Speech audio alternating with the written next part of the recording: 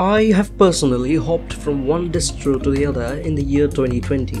I've always been fascinated by the amount of choice in Linux. But when I was a newcomer, sometimes it did overwhelm me. Today, I came across a distro that did catch my attention.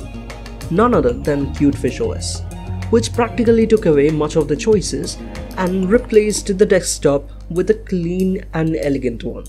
Rather, a stunning one. This is truly not another ordinary Debian fork. I have been using this distro for a while and what I conclude is that simplicity is the basic foundation of this distro. Well, this is a beta version and not ready for daily use. After booting, we are greeted by this beautiful desktop made with KDE basic frameworks and Qt Quick. Of course, inspired by macOS. I was a bit skeptical about this since this distro targets newcomers and most of that users would change from Windows. That how they would react to the dock approach, but they have provided with you another option accommodating both the users at the same time. The visual change is refreshing from the default looks of popular distributions uh, using GNOME and KDE the top bar is clean and allows us to do some basic operations like change the keyboard layout, sound, open settings, change themes, and access power options. A lot of space appears to be wasted on my left side of the panel, but it has a global menu. This feature saves space in apps and makes them look clean, but the utility of menu in File Manager is redundant as for me. More on that later. Talking about files, it has its own file manager, which kinda looks like Nautilus. This icon allows simple operations like display as icons or as list, sorting options and more. The properties page has no tabs and gives the location of the file, the size, access and modification date, etc. Also, the type of the selected object. Contrary to the properties on KDE which is divided into 4 tabs giving us access to other stuff like checksums, permissions, owners and other details. In fact, there are probably no methods to change the permissions of a file. It is again designed to be simple. Talking about design, if we just quickly hop into settings to change the accent color, it is reflected system-wide. Not drastically, but subtle changes take place. The settings app allows only low-level personalization like changing into two different themes that is the light theme and the dark theme. There are some awesome wallpapers to choose from. Also it allows different pointers for your mouse. However you are stuck with the icon pack that they have provided and general look and feel of the system. You cannot change the colors in and out or the icons which look like a 2d version of the mac os icons according to your will.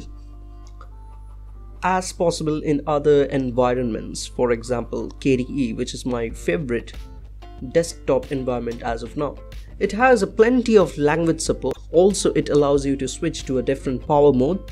It is not that light on the system and did take a bit of my CPU and RAM but might be it does not perform that well in virtual machine. And due to some unknown reason I could not flash it properly to a pen drive run it directly on bare metal. But also, it is shipped with its own calculator, text editor that is gedit, screenshot app, document, and image viewer, and also a package installer. Surprisingly, no video players or music players were found.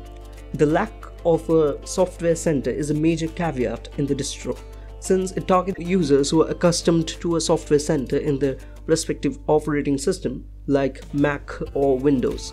Also the image viewer looks a bit out of place in the light theme. The menu bar for File Manager allows you to do basic operations even without the menus like copy or paste, viewing properties of a file and more. These are practically possible from the keyboard or by using the mouse without the menu bar if it is not present.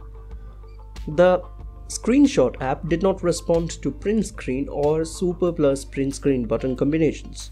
The app launcher did not open when the super key was pressed. There are many such subtle problems, but since this is just a beta release, everything will be surely polished up before the final release is done. Comparing it with other desktop environment, somewhere the snappiness is missing. I could not just get that smooth, buttery experience of KDE or GNOME or any other desktop environment on Cutefish as of now. I hope the developers will continue their hard work since I see a plethora of possibilities for Cutefish to become successful. Simple yet beautiful.